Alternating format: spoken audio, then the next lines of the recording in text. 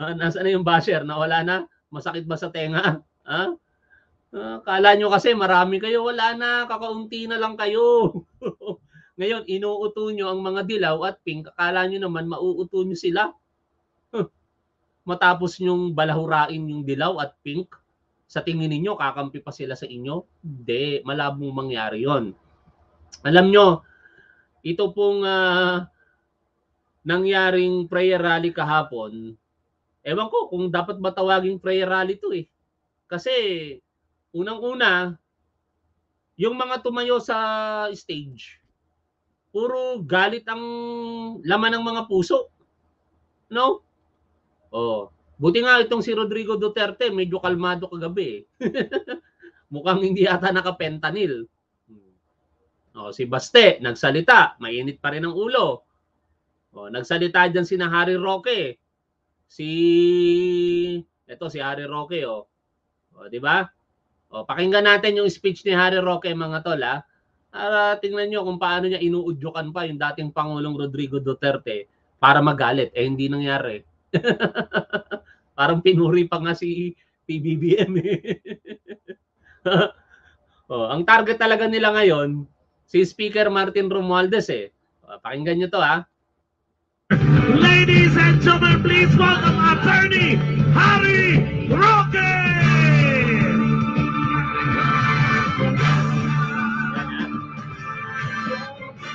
I love Cebu! Bago ko magsimula, meron akong tanong sa inyo. Mami Christina Vega, shoutout sa inyo kay Mami Chicharon Bulaklak. O sino pa? Shoutout po sa inyong lahat ha. Kayo ba'y binayaran para makapiling namin ngayong gabi? We. Paano kaya yung mga vlogger na pumunta dyan from Manila? Posible naman na sarili nilang pera yung ginastos nila sa pagpunta uh, dyan. Magkano ang sakay ng eroplano? Wag nyo na kaming bolahin pa. Ha? Puntahan nga natin yung page ni Mami Peng kasi merong post si Mami Peng kanina. Eh. Gusto ko lang i-share sa inyo. Ha? Oh. Uy, naka-live yung Flashy. Sayang, naka-live siya. Di ka ako makakapanood. Oh. Tignan natin dito. Bale, tatapusin ko agad to. Nasa na ba yun, ha? Wala, wala rito. Bakit hindi ko makita yung post ni Mami Peng? Saan ba siya nag-post nun? Oh, anyway, hindi ko makita. Teka lang, ha? Tingnan natin. Dito tayo. Dito tayo sa... Ha? Nakakatawa kasi itong mga itong mga Duterte supporter eh. No? Pati ito si Harry Roque. Nakaka nakakatawa eh. oh. Ito, puntahan natin. Yan, nakita ko na. Hmm. Oh. Ito. Sabi niya, oy, mga vloggers nyo, nagpaparinig na sa mga viewers, mukhang kulang bigay. Mapupulutan kasi, mapuputulan kasi ng kuryente. Dagdagan nyo naman, bigay dyan. 20k daw utang sa Meralco, nag-aircon pa kasi. Meron daw nangihingi pamasahe pabalik Manila. Pupunta ka ng rally, wala kang pera. Sino kaya yan? Sino kaya itong mga vlogger na ito? Ano? Ay, nako. Tapos magtatanong ka pa, Harry Roque, huwag niyo na kaming bulahin. Ha? Yung mga vlogger na nagpunta dyan, maniwala kami. Pamasahe back and forth. Nung ako'y nagtuturo pa, kulang-kulang 10,000 piso. yung airfare. Oh. Kaya ba nilang kitain yon sa isang gabi na pagbablog? Hindi. Kaya wag na tayong magbulahan dyan. Meron nag-sponsor dyan. Oh, tuloy tayo. Kayo ba'y nagbebenta na inyong lagda dyan sa PI na yan? Puro kayo alegasyon eh. Eh, hanggang ngayon wala naman kayong napatunayan na merong nagbayad para sa PI. Alam nyo, itong ginagawa ng mga tao na ito, ulumang tugtugin eh. Hindi na nga usapin ng PI ngayon charter change na talaga. Ah, yung economic provisions ng 1987 Constitution. In fact, sa kasaysayan po ng House of Representatives, nagpulong na ngayon yung committee as a whole. Ah, pinangunahan nyo ng ating speaker na si Martin Romualdez, ongoing yung committee as a whole at dinidinig ang lahat ng mga relevant information para makapag-come up sila sa magandang ah, proposal to amend the economic provision of the 1987 Constitution. Wala na tong PIPI nyo. Eh lumang tugtugin na, hindi na nga binili ng tao. Hanggang ngayon, hindi kayo makalimot dyan. Sabi ng mga ilan dyan sa Malacanang, laos na raw ang mga Duterte. Tutok! Totoo. Totoo. Laos na talaga ang mga Duterte. Eh, yung mga survey-survey nyo, wala yun. Hindi yun matatranslate sa boto. Eh, kung totoosin nga, kay Rapi Tulfo pa lang, talo na kayo eh. Pero hindi ko iboboto si Rapi Tulfo sa pagkapangulo. Mahirap din maging presidente yun. O ba yan? Sabi ng mga ilan dyan, kaya raw nila pabaksakin ang VP Sara Duterte. Tutok! wala namang magpapabagsak kay BP Sara kung hindi sarili niya. Panoorin mo, Harry Roque, yung video ni Epipanyo Labrador. ha? Ah, hindi ako magsasalita tungkol doon. Pero panoorin mo, Harry Roque, yung video ni Epipanyo Labrador. Paano mo ipagtatanggol si Sara Duterte doon sa mga sinabi niya? O ba yan? At sabi ng iban dyan, mananalo daw ang tambaluslos kung hindi presidente, prime minister. Nak ng teteng naman, masyado kayong advance mag-isip eh. Ang ginagawa ng tambaluslos na sinasabi mo na si Speaker Martin Romualdez para sa ikabubuti ng mga mamamayang Pilipino. Nakikita mo ba ito? Ang yabang-yabang ninyong mag-provide ng crowd estimate diyan kahapon eh ito ang tunay na crowd estimate. Ano ang sinabi po dito ng ah, Philippine National Police? Salamat dito sa sa For the Pairs Couple ah. Basahin natin yung information na senior niya. Oh, Philippine National Police, Regional Office 12, Sultan Kudarat, Police Provincial Office. I have been there, nagturo ako sa Takurong City eh. Ha? For Regional Director from Provincial Director subject after Security Operation Coverage Report on Bagong Pilipinas Servicio Fair 2024. Na-miss kong magbasa ng ganito, ganito trabaho ko dati. eh. February 26, 2024. On February 25, 2024, Day 1 of Bagong Pilipinas Servicio Fair 2024 in Sultan Kudarat Province, led by the undersigned, conducted security coverage during the Bagong Pilipinas Servicio Fair 2024. Held at Sultan Kudarat Sport Complex and Cultural Center, Barangay Kalawag 2, Isulan, Sultan Kudarat. Activity started with a short program then followed by opening remarks of Governor Datu Pax Ali Sangki Maguda Datu and with the support of House Speaker Ferdinand Martin G. Romualdez alongside the dedicated members of the House of Representatives from Mindanao. The Bagong Pilipinas Servicio Fair is the country's biggest service caravan that provides major government services to less fortunate Pi- Filipinos. Nakikita ninyo? Ito, nagsusumikap ang ating speaker para paglingkuran ng taong bayan. Pero kayo, puro pamumulitika ang ginagawa ninyo. Tuloy ko po binabasa natin. Across the country, offering the government's flagship programs. The event, which offered to a total 150,000 beneficiaries in different government programs and services in the morning, and a total of 120,000 attendees during the pasasalamat concert concluded without any major incidents ended the day one at about 11:30 in the evening with fruitful result. The undersigned assured the public that day 2 of the Bagong Pilipinas Servicio Fair, meron pang ikalawang araw pero abangan na lang natin. Napakarami ang nag-participate dito kasi ito talaga yung mabuti ang layunin.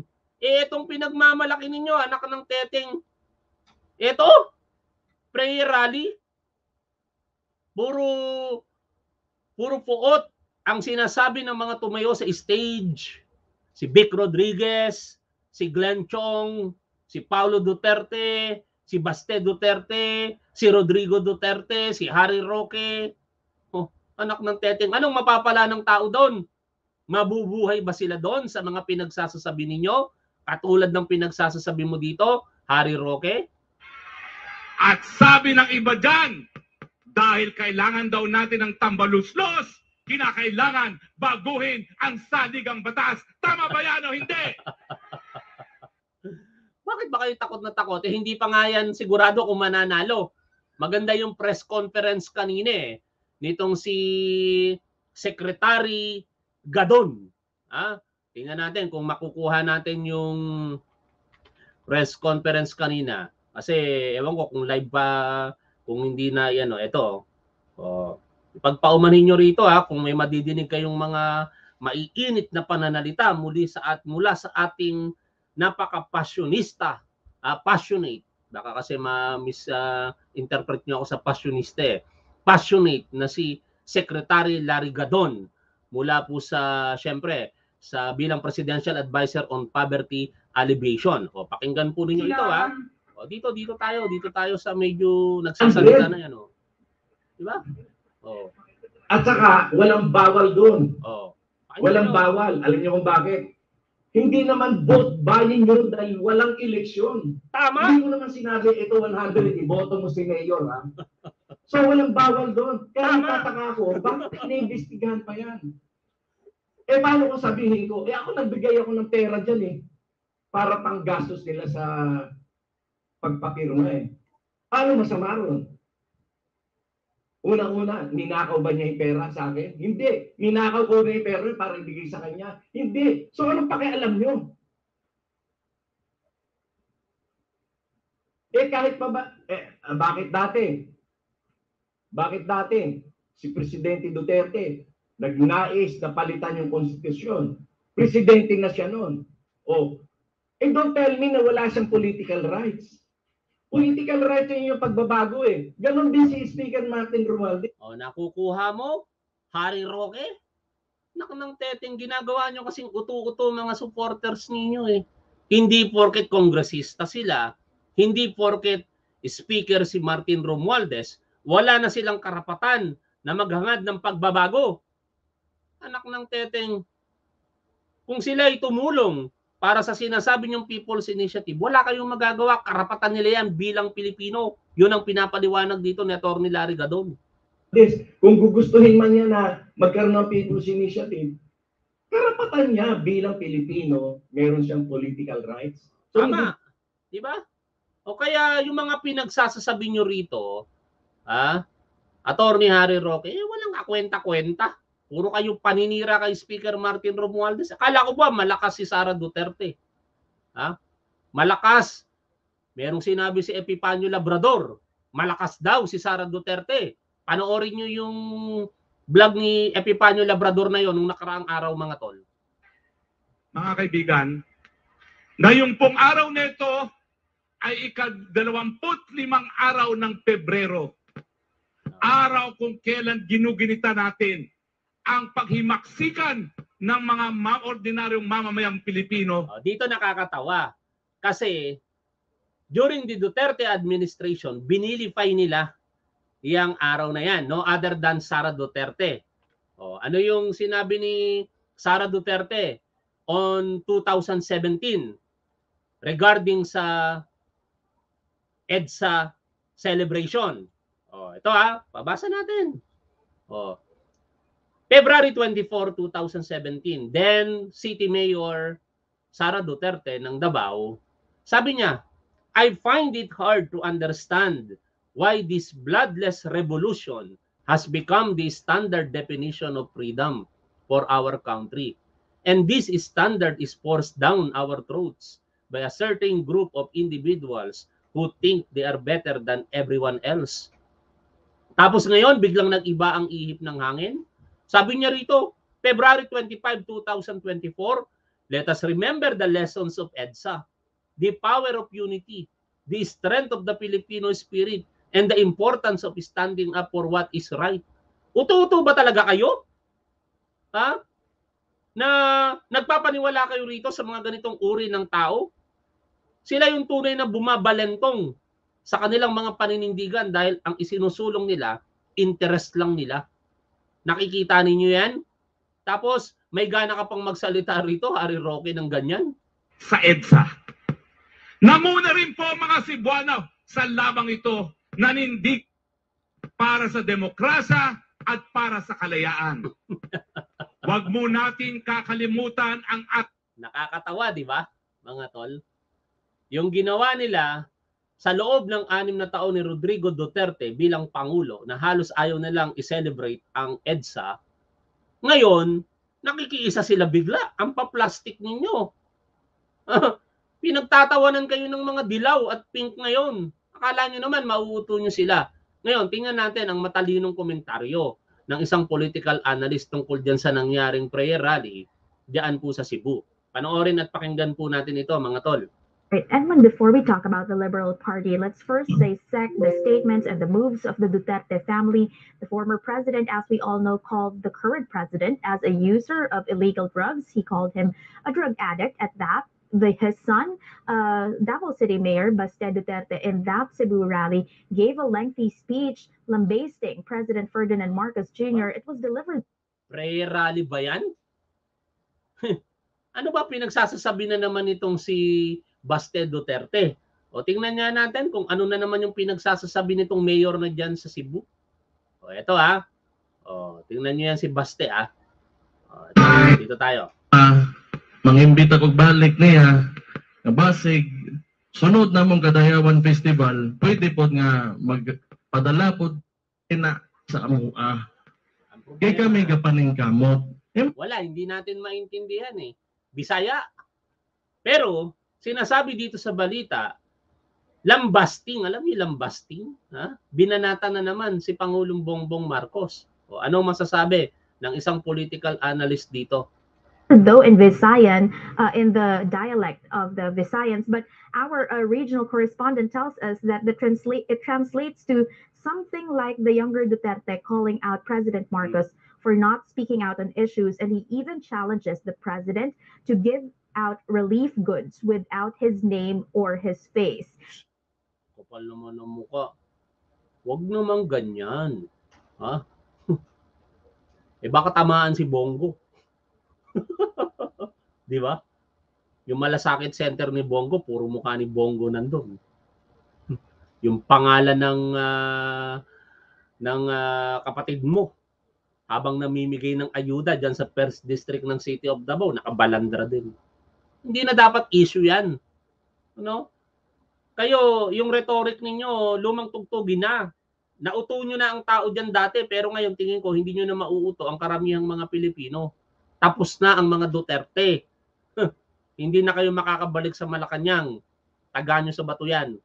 He also says that the funny thing about this administration is that people liked it for its promise to deliver 20 pesos per kilo of rice, and yet he called that a scam.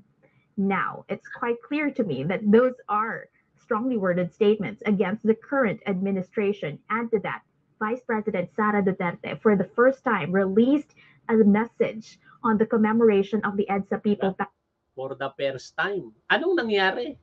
Huh.